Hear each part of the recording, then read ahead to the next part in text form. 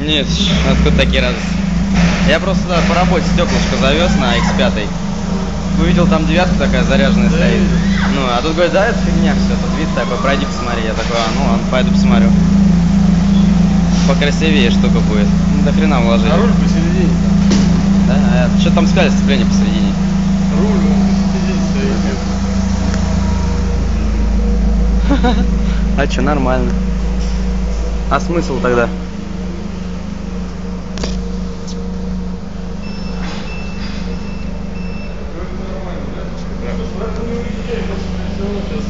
Специально. А вот с ним решать, там будем делать.